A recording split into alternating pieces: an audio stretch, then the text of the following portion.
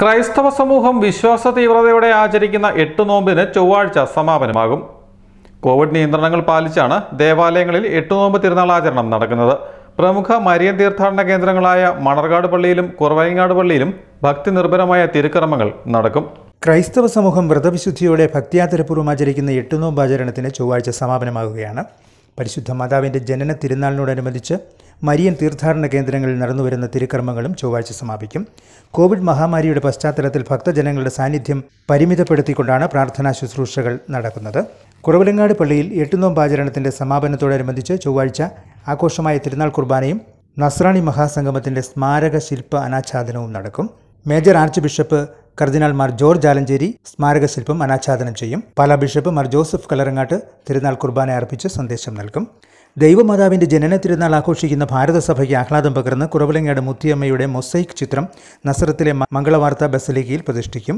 മംഗളവാർത്ത ദേവാലയത്തിലെ ജപമാല പ്രദർശന വീതിയിലാണ് ഒന്നാം നൂറ്റാണ്ടിലെ മാതൃപ്രത്യക്ഷീകരണത്തിന്റെ സ്മരണയ്ക്കായി കുറവലങ്ങാട്ടെ മുത്തിയമ്മയുടെ തിരുസ്വരൂപ പ്രതിഷ്ഠ നടക്കുന്നത്.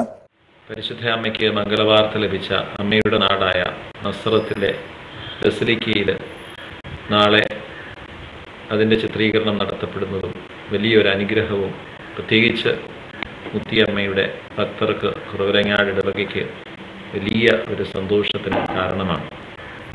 കുറവലങ്ങാടും നസ്രത്തും തമ്മിലുള്ള വലിയൊരു ബന്ധത്തിന്റെ ആത്മീയ ബന്ധത്തിന്റെ ഒരു കണ്ണിയായി ഈ മൊസൈക്ക് ചിത്ര സ്ഥാപനത്തെ ഇടവക സമൂഹം മുഴുവനും കാണുന്നു.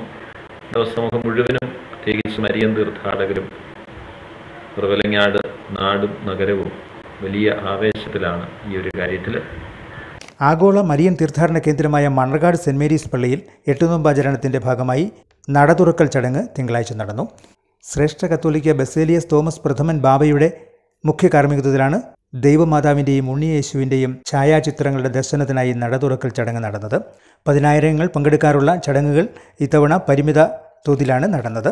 എട്ടുനോമ്പിന്റെ സമാപന ദിവസമായ ചൊവ്വാഴ്ചയും തിരുക്കർമ്മങ്ങൾ ഭക്തി പുരസ്സരം നടക്കും. Star Vision News Kottayam.